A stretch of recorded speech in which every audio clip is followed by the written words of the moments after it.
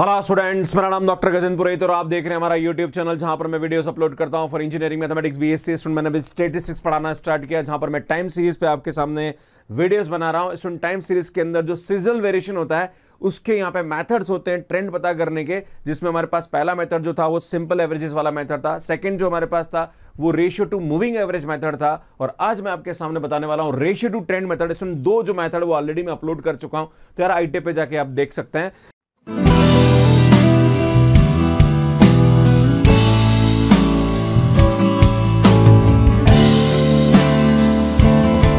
इस मेथड के अंदर हम क्या करने वाले हैं, मैं आपको क्वेश्चन के थ्रू समझाने की कोशिश करूँगा, फिर आपको ये जो स्टेप्स है, ये बहुत इजीली समझ में आएगी। इसमें अगर हमारे पास कोई भी क्वेश्चन दे रखा है और आपसे बोला, देखो एग्ज़ाम में आपसे बोला जाएगा कि यार आपको कौन सा मेथड लगाना है like ratio to moving average लगाना है या रेशियो टू ट्रेंड मेथड लगाना है, या फिर आगे मैं आपके सामने एक और मेथड बताने वाला हूँ that is link relative method जो भी आपको एग्ज़ाम में क्वेश्चन पूछा जाएगा, उसके अंदर मेथड के बारे में ज़रूर मेंशन होगा। सो हमारे पास जो क्वेश्चन दे रखा है, उसके अंदर हमारे पास यहाँ पे ईयर दे रखे हैं क्वार्टर्स दे रखे हैं क्वार्टर की हमारे पास सेल्स दे रखी है। आपको यहाँ पे ट्रेंड पता करना और यहाँ पे एग्ज़ाम में बकायदा दिया आएगा कि use ratio to trend method right तो पता है कि भाई आपको ये मेथड अप्लाई करना है ना? ऐसा नहीं कि सर, हमें नहीं पता पड़ेगा तो कौन सा मेथड हम अप्लाई करना है, ऐसा नहीं, आपको एग्ज़ाम में दिया हुआ आएगा। तो सुन, जब भी हमारे पास ऐसा क्वेश्चन आता है तो सबसे पहले आपको क्या करना है, ये हमारे पास ओरिजिनल क्वेश्चन था राइट अब इस ओरिजिनल क्वेश्चन को सबसे पहले हम क्या करेंगे? फिट करेंगे, है ना? सुन लिस्ट स्क्वायर मेथड से हमें क्या करना पड़ेगा इसको स्ट्रेट लाइन में? या जो भी हमारे पास बोला गया, वैसे इस क्वेश्चन में बोला गया कि स्ट्रेट लाइन फिट करनी है ना?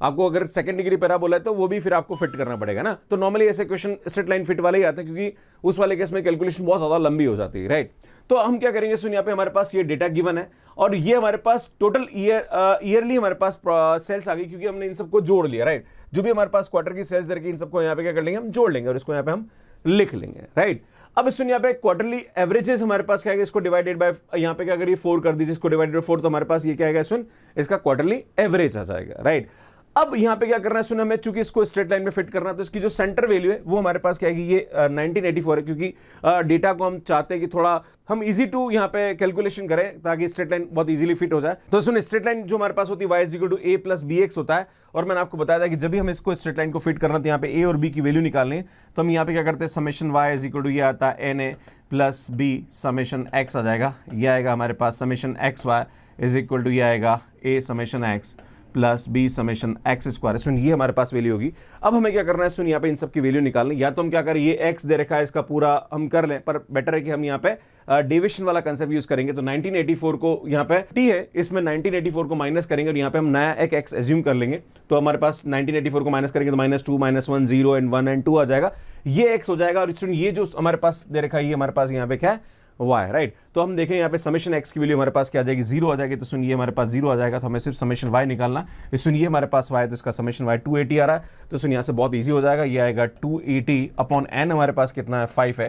तो यार यहाँ से हमारे पास सीधी एक ही वैल्यू आ जाएगी दैट इज़ 56 राइट इसी टाइप से हमारे पास यहाँ पे जो सेकंड uh, इक्वेशन होती है वो ये है। तो आप सेकंड इक्वेशन में चेक करेंगे तो यहाँ पे एक्स वाई की वैल्यू आएगी। सुनिए एक्स और ये हमारे पास वाई देखा इन दोनों को मल्टीप्लाई करेंगे दिया जाएगा। इसमें एक्स स्क्वायर हमारे पास ये एक्स देखा इसका स्क्वायर करेंगे दिया जाएगा राइट तो सुनो हमारे पास एक्स वाई की वैल्यू हमारे पास यहाँ पे कितनी आ रही है? सुन वन आ रही है और ए की वैल्यू हमने यहाँ पे निकाल ली तो ये आएगा हमारे पास फिफ्टी और चूँकि समेशन एक्स ज़ीरो है तो यार भैया ये तो हमारे पास ज़ीरो ही हो जाएगा। एंड इस प्लस बी समेशन एक्स तो यार ये हमारे पास टेन बी हो जाएगा। तो बी की वैल्यू हमारे पास यहाँ पे क्या आ जाएगी? सुन ट्वेल्व आ जाएगी राइट तो सुन ए और बी की वैल्यू हमारे पास आ गई। ये ए और बी की वैल्यू उठा के हम यहाँ रखेंगे, है ना? जो भी हमारे पास स्टेट लाइन है तो वाई इज़ इक्वल टू हमारे पास क्या आता है? सुन ए प्लस बी एक्स होता तो Y is equal to A की वैल्यू हमारे पास 56 है बी की वैल्यू हमारे पास 12 है। तो सुन, ये हमारे पास क्या आएगी? एक ट्रेंड लाइन आ जाएगी राइट अब ये ट्रेंड लाइन में आप क्या करना है? सुन एक्स की वैल्यू पुट कर दीजिए। तो एक्स की वैल्यू माइनस टू पुट करेंगे तो हमारे पास यहाँ पे 1982 का जो ये क्वार्टरली एवरेज आ जाएगा, वो हमारे पास ये आ जाएगा राइट है ना?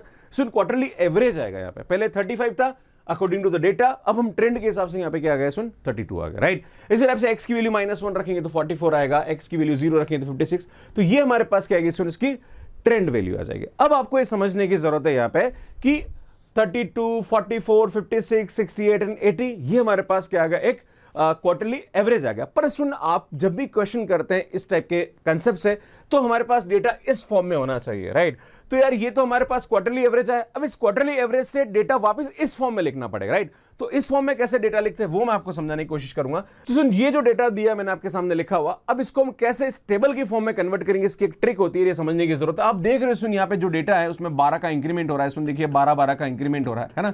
सुन ट्वेल्व ट्वेल्व का इंक्रीमेंट हो रहा है। इसका मतलब हर क्वार्टर में क्या हो रहा है, सुन, चूँकि हमारे पास एक साल में चार क्वार्टर है और एक साल में बारह बढ़ रहा है तो एक क्वार्टर में कितना बढ़ेगा?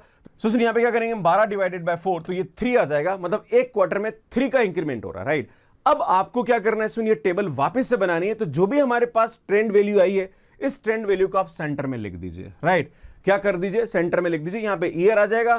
First quarter second quarter third quarter fourth quarter ऐसा यहाँ पे लिख देने का। अब कैसे इनकी वैल्यू लिखेंगे, ये समझाने की कोशिश करता हूँ। तो जो भी हमारे पास डेटा आया, ये ट्रेंड वाला, इसको सेंटर में लिख देना। है अब चूँकि हमारे पास यहाँ पे हर क्वार्टर में तीन का इंक्रीमेंट हो रहा राइट है ना? और भाई तीन तीन का इंक्रीमेंट होगा, तभी तो हमारे पास ये थर्टी से फोर्टी फोर से फिफ्टी ऐसा होगा राइट अब जो भी हमारे पास 32 उसको यहाँ लिखना। है अब इसमें तीन बढ़ रहा है तो हम क्या करेंगे? 1.5 इधर माइनस करेंगे। 1.5 इधर क्या करेंगे? प्लस करेंगे, है ना? तो इसमें माइनस करेंगे तो ये हमारे पास 30.5 हो जाएगा। और इसमें 1.5 ऐड करेंगे तो 33.5 हो जाएगा। अब नेक्स्ट हमारे पास यहाँ पे थ्री इंक्रीज करेंगे, क्योंकि तीन तीन बढ़ रहा है ना तो तीन इंक्रीज करेंगे तो 36.5 यहाँ पे तीन माइनस करेंगे राइट तो इसमें ये हमारे पास आएगा। तो ये हमारे पास डेटा आएगा इसी टाइप से 44 में भी हम करने वाले हैं। 44 में 1.5 ऐड करेंगे 1.5 माइनस करेंगे, फिर माइनस थ्री करेंगे प्लस थ्री करेंगे। 56 में 1.5 माइनस करेंगे 1.5 प्लस करेंगे, फिर थ्री करेंगे, फिर माइनस थ्री करेंगे। आप बोलोगे, सर एक्चुअली करना क्या चाह रहे हो? मेरे भाई, मैं आपको बताना चाह, ये डेटा का टोटल जो एवरेज है, वापस ये 32 ही आना चाहिए। राइट है ना? हम ऐसा ताकि ये इनको सबको जोड़ोगे ना तो 32 है। आ, इन सबको जोड़ के डिवाइडेड बाय फोर करोगे ना तो 32 आएगा। इन चारों को जोड़ के डिवाइडेड बाय फोर करोगे तो 44 आएगा राइट तो हम ऐसा करना चाह रहे हैं ताकि हमारे पास यहाँ पे क्या जाए जो भी ट्रेंड वैल्यू उसके हिसाब से हमारे पास यहाँ पे डेटा आ जाए राइट ताकि हम लोग क्या करें इसकी ट्रेंड वैल्यू निकाल पाए। तो सुन ये हमारे पास क्या है एक नई टेबल बन जाएगी राइट अब सुन, ये हमारे पास क्या हो होगी एक नई टेबल बन गए अब इस नई टेबल से हम आगे क्या कैलकुलेट करेंगे, आपको समझाता हूँ। सुन, ये हमारे पास ओरिजिनल डेटा है, ये हमारे पास क्या है? सुन ट्रेंड वैल्यू है ना? हर एक क्वार्टर की ट्रेंड वैल्यू है, ये हमारे पास इसकी ओरिजिनल वैल्यू है। अब इन दोनों का रेशियो निकालेंगे, है ना? सुन, हम क्या करेंगे? रेशियो जो ट्रेंड निकालने के लिए हमारे पास ये जो है, ये हमारे पास ओरिजिनल डेटा है, ये हमारे पास क्या है? सुन, इसकी ट्रेंड वैल्यू है ना? अब हमारे पास क्या करें? सुन रेशियो कैसे निकालेंगे?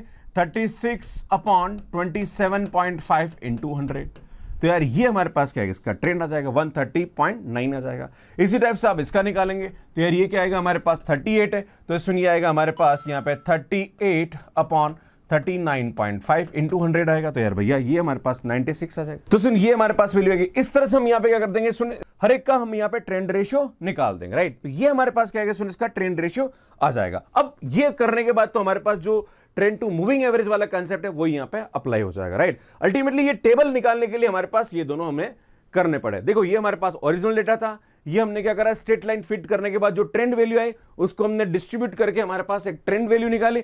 इन दोनों का जो रेशियो है, उससे हमारे पास ये टेबल बनी। अब तो हमारे पास वही काम है, क्या करेंगे? इन सबको जोड़ दो, इन सबको जोड़ दो, इन सबको जोड़ दो, इन सबको जोड़ दो। डिवाइडेड बाई फाइव करेंगे। डिवाइडेड बाय फाइव करेंगे तो हमारे पास one zero one point zero eight आएगा। डिवाइडेड बाय फाइव करेंगे डिवाइडेड बाय फाइव करेंगे तो ये वैल्यू हमारे पास आ जाएगी राइट अब सुन, ये हमारे पास क्या है इसकी? एवरेज वैल्यू आएगी। अब हमें क्या करना है, सुन, यहाँ पे मीन टू ट्रेंड रेशियो निकालना है। तो इसके लिए आपको क्या करना है, सुन, ये जितने भी हमारे पास मीन है इन सबको वापस जोड़ दीजिए। और इन सबको जोड़ेंगे तो हमारे पास डिवाइडेड बाय फोर करेंगे तो ये आएगा, इनका जो एवरेज आएगा, वो हमारे पास आएगा 100.94 ये हमारे पास क्या आएगा एवरेज का एवरेज आएगा राइट क्या आएगा, सुन, अब एवरेज का एवरेज आएगा। अब हमारे पास यहाँ पे जो क्वार्टरली एवरेज है, वो हमारे पास 101.08 है डिवाइडेड बाय 100.94 सुनिए, ऐसा आएगा 101.08 डिवाइडेड बाय 100.94 इंटू हंड्रेड तो सुन, ये हमारे पास क्या आएगा? इसका सीजनल वेरिएशन आ जाएगा राइट या फिर हम इसको बोल सकते हैं सीजनल इंडेक्स है ना? तो 100.13 आ जाएगा। इस टाइप से हम इसका निकालेंगे यहाँ पे। तो क्या आएगा? सुन, ये हमारे पास आएगा 110.56 divided by 100 point nine four into hundred तो यार, ये हमारे पास वैल्यू आ जाएगी। इसी टाइप से one zero point zero eight divided by hundred point nine four into hundred तो one zero point one zero three point eleven आ जाएगा।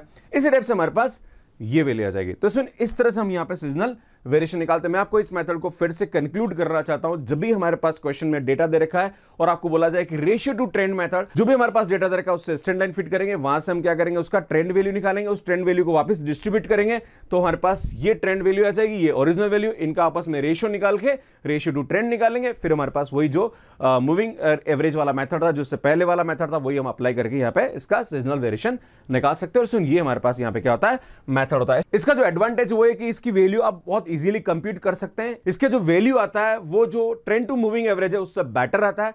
ये इसका फ़ायदा है। पर सुन, यहाँ पे एक सबसे बड़ा डिसएडवांटेज ये है कि क्योंकि हम लोग यहाँ पे जो ट्रेंड वैल्यू निकाल रहे हैं, वो स्ट्रेट लाइन फिट करेंगे या फिर सेकंड डिग्री पैराबोला फिट करेंगे तो बहुत सारी ऐसी जो वेरिएशंस होते हैं, वो वहाँ पे एग्जैक्टली exactly ले नहीं पाता, है ना? क्योंकि वहाँ पे हमारे पास जो ग्राफ आ रहा है, वो स्ट्रेट लाइन में आ रहा है या फिर ग्राफ ऐसा आ रहा है जो कि सेकंड डिग्री पैराबोला में आ रहा है तो ठीक है। पर अगर हमारे पास कोई जो ग्राफ है, वो ज़्यादा कर्व में तो वो हमारे पास यहाँ पे इसको एस्टिमेट नहीं कर पाता, उसके एग्जैक्ट ट्रेंड को एस्टिमेट नहीं कर पाता। तो ये हमारे पास यहाँ पे क्या होता है, इसका डिसएडवांटेज होता है। सुन, इसके बाद जो मैं आपके सामने नेक्स्ट मेथड लेके आला हूँ लिंक रिलेटिव मेथड जो कि बहुत ही इंपॉर्टेंट मेथड है इसका, वो डिस्कस करूँगा, उसके बाद फिर हम अगला टॉपिक पढ़ाना स्टार्ट करेंगे। सुन, कैसा लगा आपको वीडियो प्लीज़ कमेंट करके ज़रूर बताइए। लाइक करिए शेयर करिए और चैनल को ज़रूर सब्सक्राइब करिए। ऐसे और भी जो वीडियोस है, वो आप यहाँ जाके देख सकते हैं और यहाँ जाके चैनल को सब्सक्राइब कर सकते हैं। अगर आप C S I NET GATE और आई एग्ज़ाम की तैयारी कर और अपने बेसिक्स को बहुत अच्छा करना चाह रहे हैं तो यार यहाँ जाके मेरी वीडियोस को देख सकते हैं आप सभी का बहुत बहुत धन्यवाद। Thank you bye